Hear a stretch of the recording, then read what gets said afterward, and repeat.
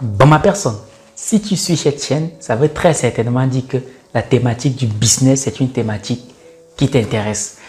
Tu sais, ça va faire un peu plus de trois ans que je me suis lancé en business et il se trouve que pendant mes deux premières années, j'avais des résultats médiocres. Pour ainsi dire, je n'avais pas du tout de résultats. Mais au bout de la troisième année, j'ai eu des résultats qui étaient cinq fois meilleurs par rapport à ceux que j'ai eu au courant de la première année. Donc aujourd'hui, avec un peu plus de recul, j'ai pu analyser les différents éléments qui m'ont empêché de pouvoir faire décoller mon business. Et dans cette vidéo, je m'engage à partager avec toi les 13 éléments qui très souvent empêchent beaucoup d'entre nous de voir leur business décoller. Et reste jusqu'à la fin de cette vidéo parce que la dixième raison va énormément te surprendre.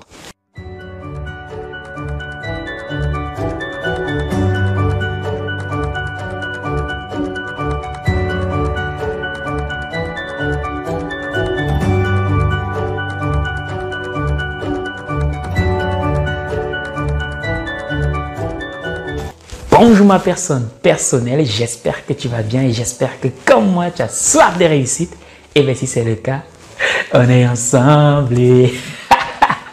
Tu l'auras bien compris, dans la vidéo d'aujourd'hui, je vais partager avec toi les 13 raisons pour lesquelles ton business ne décolle pas et ne décollera jamais.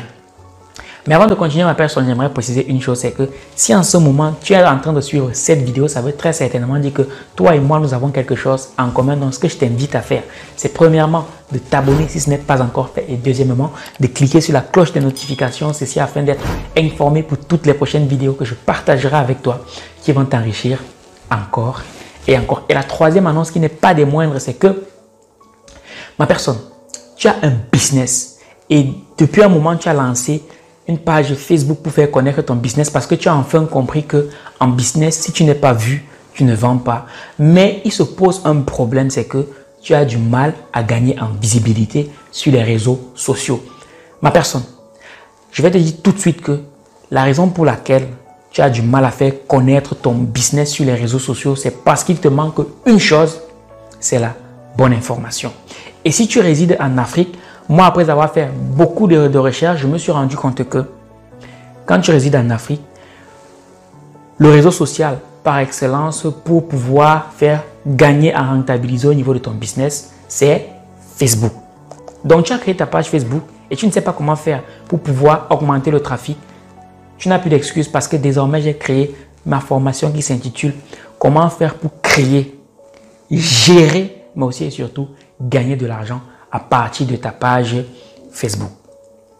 Ma personne, pendant mes deux premières années sur les réseaux sociaux, j'ai beaucoup galéré parce que je n'avais pas les bonnes informations. Mais dès lors que j'ai su ce que Facebook attendait de moi, j'ai tout de suite vu mes chiffres exploser. C'est d'ailleurs ce qui explique le fait qu'en deux ans, on était juste 10 000 dans la communauté, mais en l'espace d'une année, on a gagné un peu plus de 40 000 personnes qui ont rejoint l'aventure des chercheurs d'argent sur argent libre. En un an, on a pu créer notre site internet et en un an aussi, on a pu exposer sur YouTube.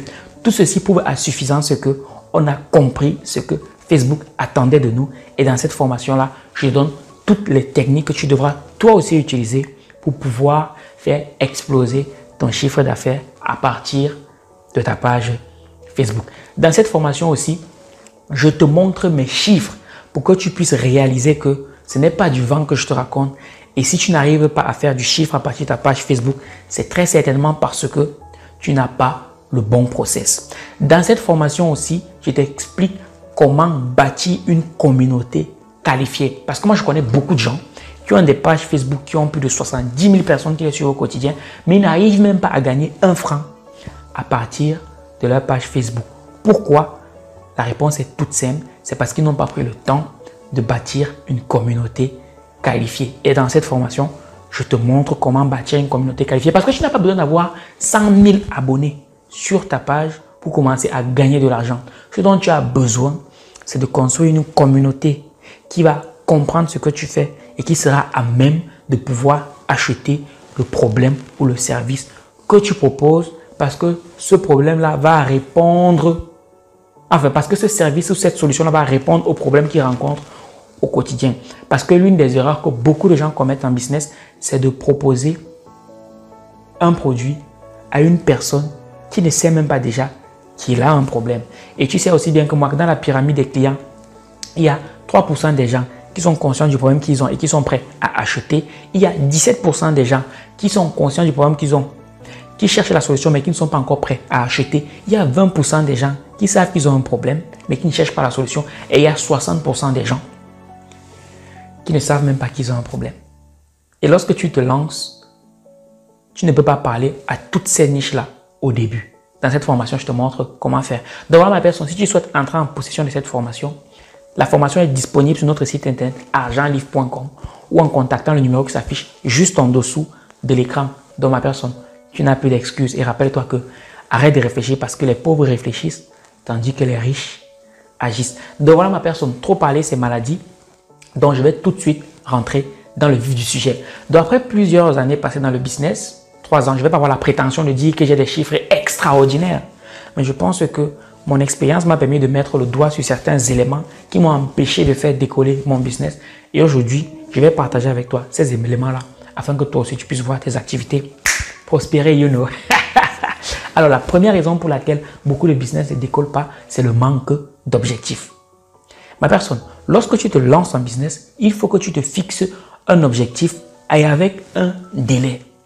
En général, lorsque je prends quelqu'un en coaching et qui me dit qu'il veut monter son business à partir des réseaux sociaux, je lui pose toujours une question, celle de savoir quel est ton objectif sur 10 ans, sur 5 ans ou sur 3 ans.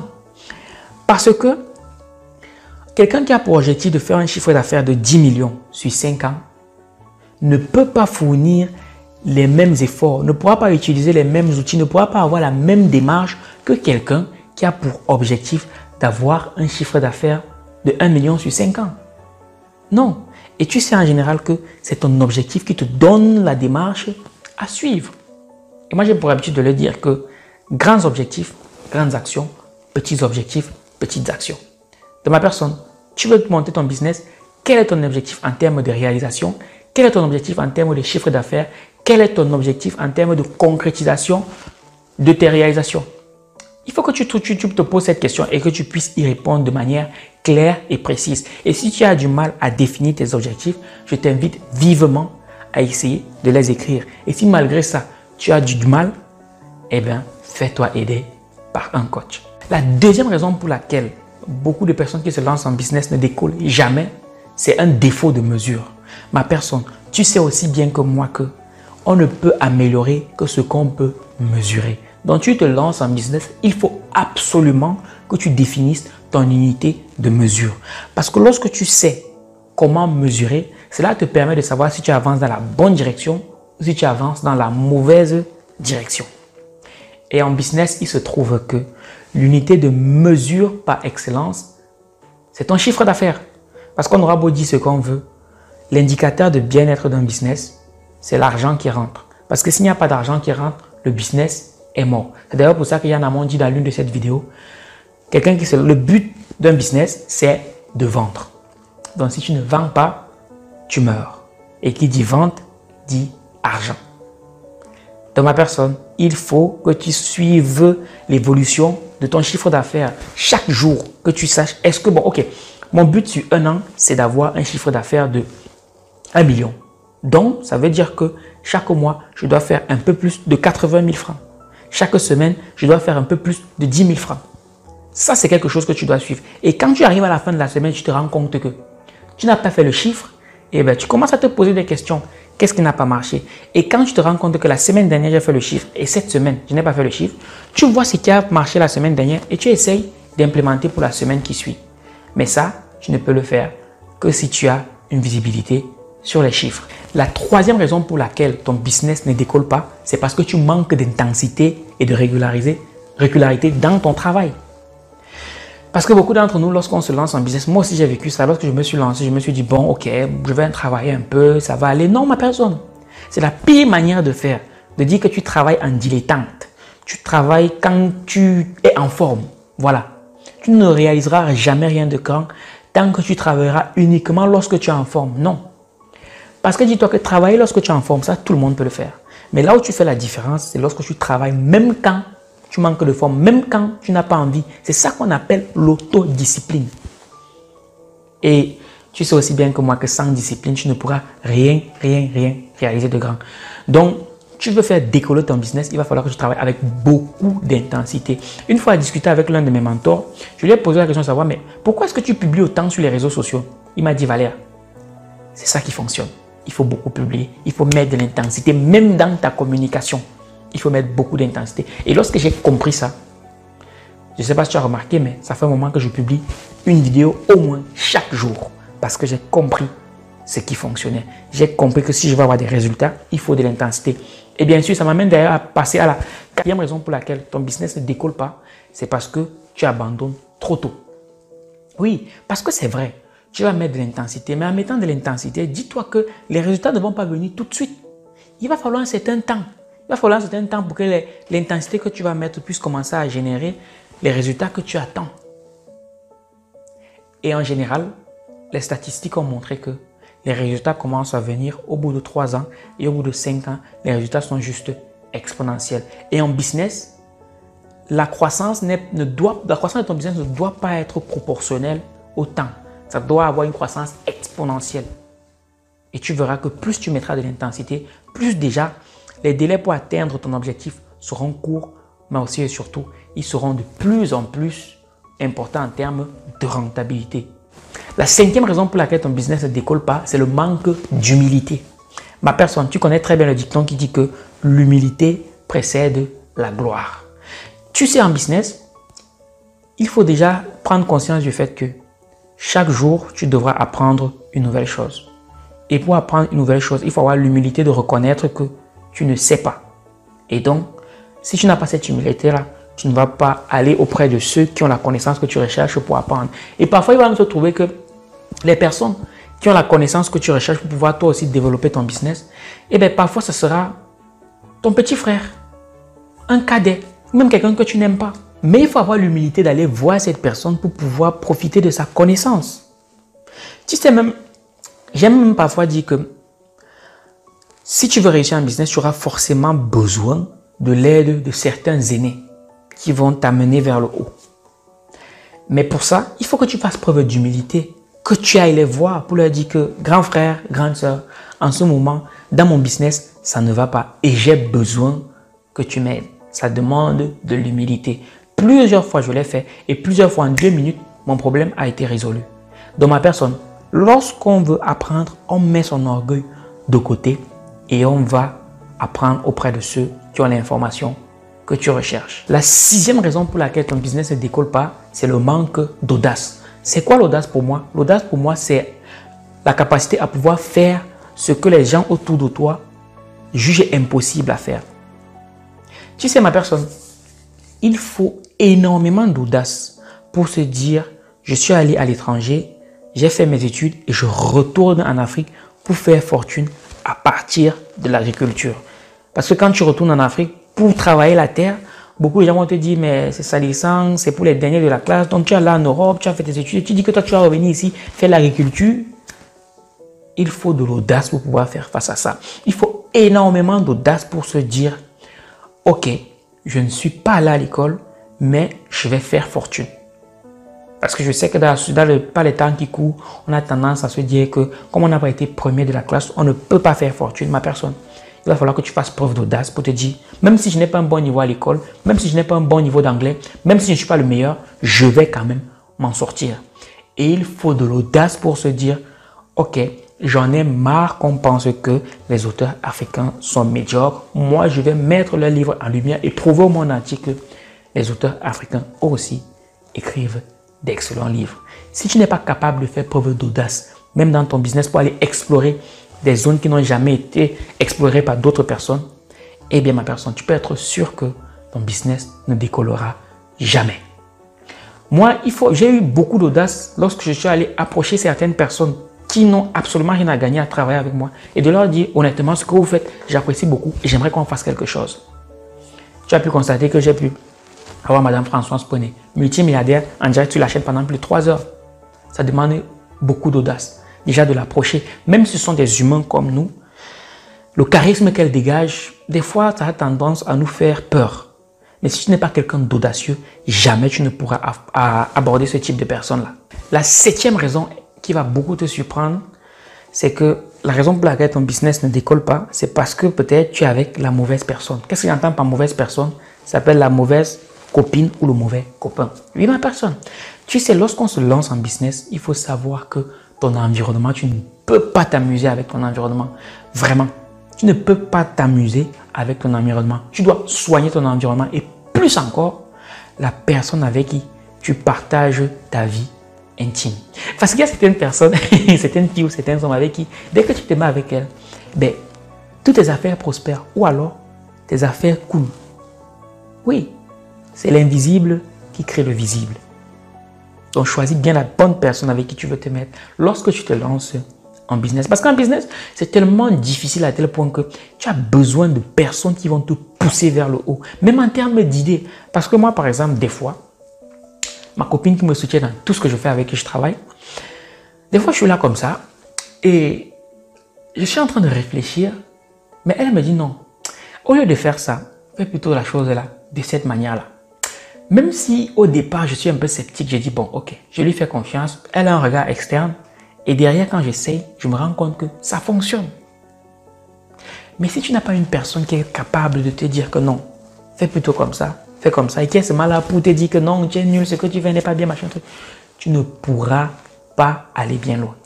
Dans ma personne, prends le temps de bien choisir la personne avec qui tu veux te mettre. Et sache que lorsqu'on choisit la personne avec qui on veut se mettre, tu ne peux pas commettre l'erreur de t'arrêter sur un physique. C'est vrai, le physique c'est important, mais tu ne peux pas te focaliser à 100% là-dessus. Parce que un tas de chair sur quelques os, ça ne tient pas bien longtemps. Mais l'élément qui doit être le plus déterminant dans le choix de ton conjoint ou de ta conjointe, ça va être la vision. Parce que dis-toi qu'à un moment donné, que tu le veuilles ou pas, vous allez passer par une période très difficile.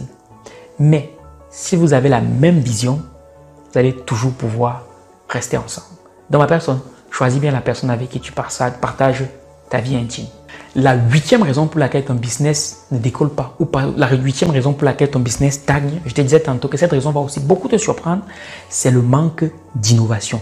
Ce qu'il faut savoir, c'est qu'en business, tout produit a un cycle.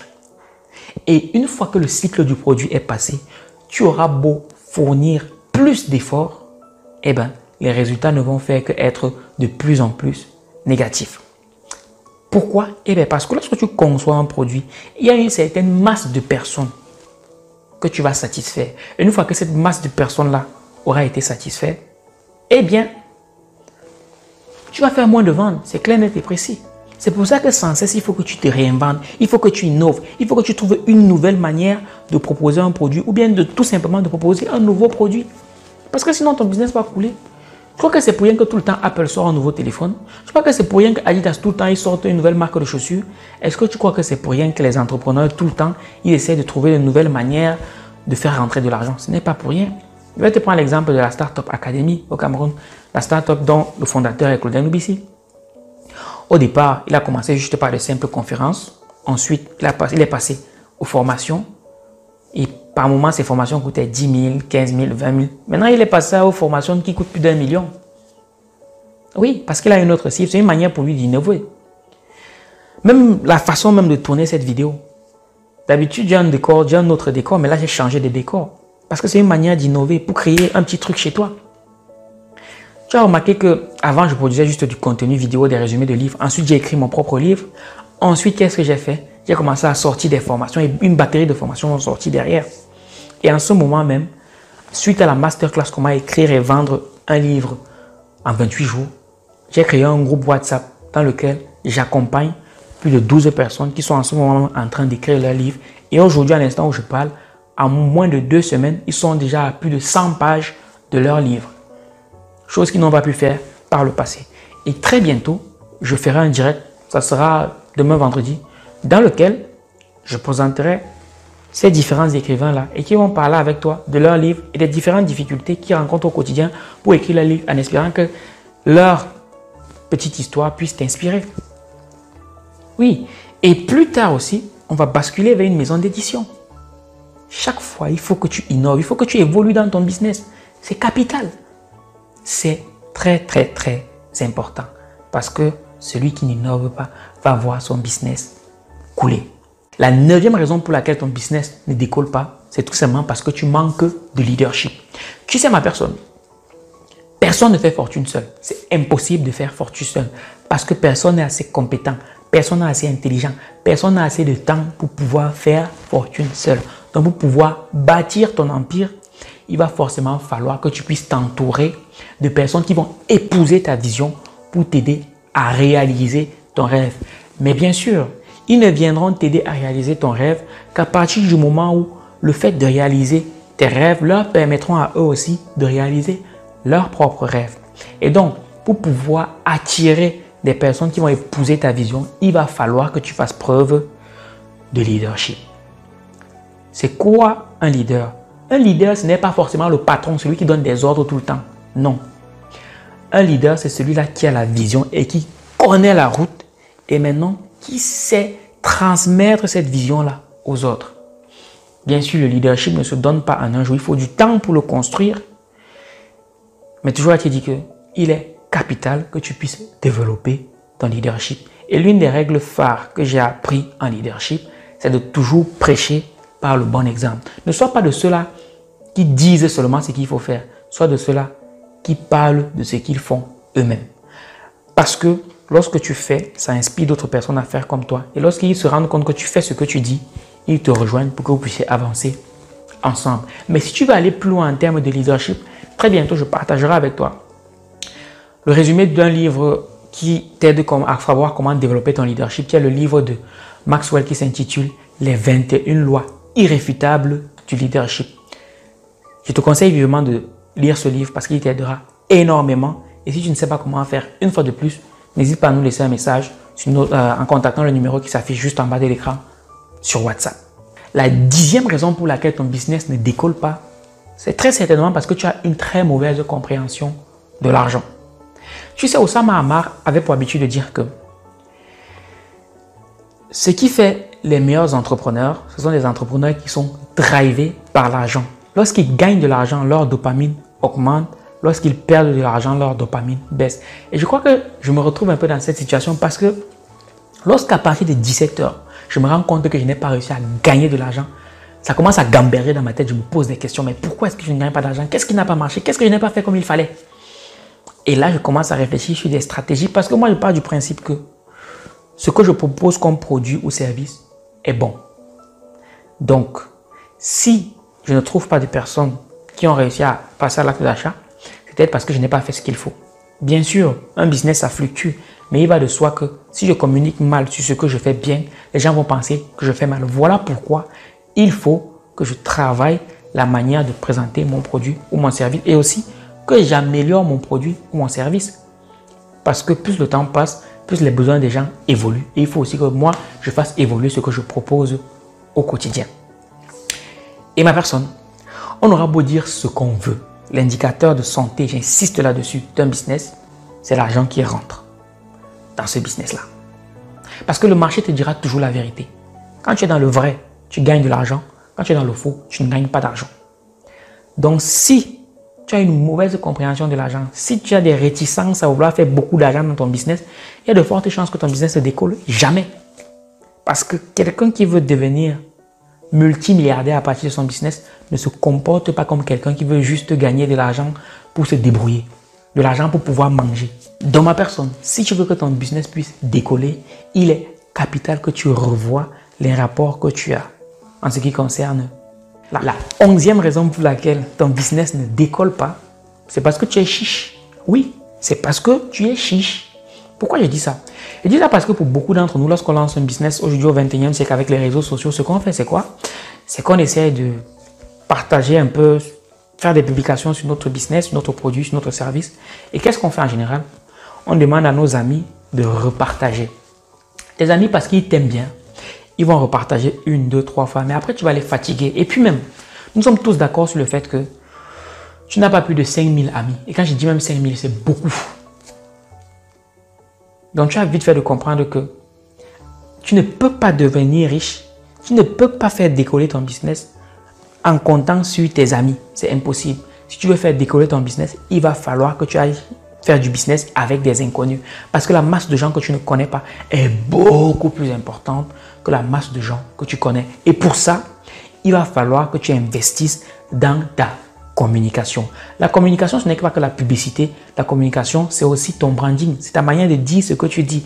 Et pour dire ce que tu dis de manière pertinente, il faut pouvoir avoir certains outils. Il faut, si tu prends, tu, te filmes, il va falloir avoir un bon éclairage, un bon micro, même une bonne gestuelle, une bonne posture. Et tout ça, ça s'apprend. Tout ça, ça demande un certain investissement humain et financier. Dans ma personne, tu veux que ton business puisse décoller, investis massivement dans la communication pour faire connaître ton produit et ton service. Apple est connu. Coca-Cola est connu. Samsung est connu. Mais si je te donne le budget que ces gens investissent chaque année pour, leur, pour faire connaître davantage leurs produits, tu vas halluciner. Ils investissent plus d'un tiers de leur chiffre d'affaires. Ce sont des milliards de dollars qu'ils investissent. Mais toi, tu démarres à peine. Et on te demande d'investir dans ton branding. On te demande d'investir dans la communication. On te demande d'investir même dans la publicité. Tu dis que non, tu n'as pas d'argent. Non, ma personne. Si tu es chiche, ton business ne va jamais décoller. Quand je l'ai compris, j'ai commencé à définir un budget mensuel que je dois injecter quotidiennement, soit pour me former, soit dans la communication, soit pour m'acheter un nouveau matériel pour faire des vidéos de meilleure qualité. La deuxième raison pour laquelle ton business ne décolle pas, c'est tout simplement parce que tu n'es pas encore abonné à cette page, à cette chaîne, you know. de la meilleure chose que tu puisses faire, c'est t'abonner à cette chaîne parce que sur cette chaîne, je partagerai avec toi chaque fois des conseils business pour faire décoller ton chiffre d'affaires. Et la treizième raison pour laquelle ton business ne décolle pas, c'est tout simplement parce que tu as oublié la douzième raison de ma personne. Va liker commande et partage massivement pour qu'on soit de plus en plus nombreux et que ça me donne la force de produire davantage de contenu de ce type de qualité. Parce que si à un moment donné, je me rends compte que tu n'interagis pas assez avec les publications que je produis, je vais juste me dire ok, les publications que je fais ne sont pas assez pertinentes, donc je vais passer à autre chose. Alors que si tu interagis, ça va me permettre de réaliser que ah, c'est intéressant ce que j'ai proposé aujourd'hui, donc, je vais essayer de proposer davantage des contenus de ce même style-là. Voilà pourquoi c'est important que tu likes, que tu commandes, que tu partages, mais aussi et surtout que tu t'abonnes. Donc, voilà ma personne, les 13 conseils qui, à mon sens, sont très importants si jamais tu souhaites faire décoller ton business. Je parle en connaissance de cause parce que j'ai commis toutes ces erreurs-là. Voilà pourquoi je suis à même d'en parler aujourd'hui. Dis-moi en commentaire lequel de ces conseils t'aura été le plus utile. Et aussi, si tu en as d'autres, n'hésite pas à nous le dire en commentaire afin qu'on puisse grandir ensemble, you know. Donc voilà, ainsi ça sert cette vidéo. J'espère qu'elle t'aura été utile. Si c'est le cas, on est ensemble comme en décembre et on se ressemble. Minakano.